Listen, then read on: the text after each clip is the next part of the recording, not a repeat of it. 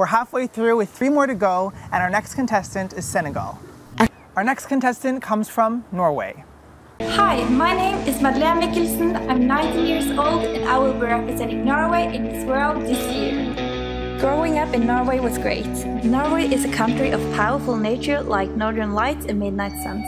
I am so happy that the people of Norway are working towards human equality. This makes Norway a good and safe place to live and stay.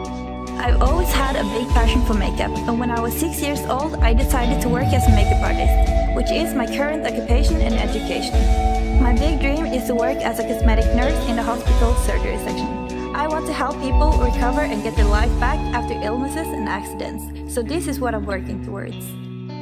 Ever since I was a child, my family has been taking me to places and taught me the greatness about traveling and discovering cultures and meet people. Every year I try to visit three countries, and this has given me the opportunity to see 10% of the countries in this world within the age of 19. My mother always taught me the importance of being true and respectful to others, and this is the main reason why she is my big inspiration in life.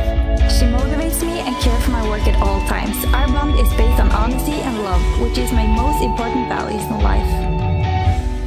So, Norway, why did you choose makeup as a profession, and what do you hope to do as a cosmetic nurse? I started doing makeup because it made so many people happy. Like I used one hour of my day and it made them so so happy for such a long time. I felt like I could bring out the best in a person just by doing some makeup.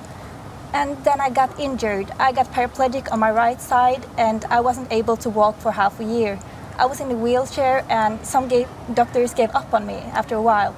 And I had this one doctor who never gave up on me and I want to be that doctor for the other other persons. Like I don't want people uh, to live with their injury for the rest of their life. So if people got scars and burns, I want to be the person who can fix it and give them hope for their the rest of their life. And uh, I think that it would be so amazing if I get the chance to change that for people. Like they don't have to live with this and they can feel good about themselves permanently. That would be amazing. Great. Well, thank you for that inspiring story. And I know you're going to help so many people's lives. So thank you, Norway. Thank you.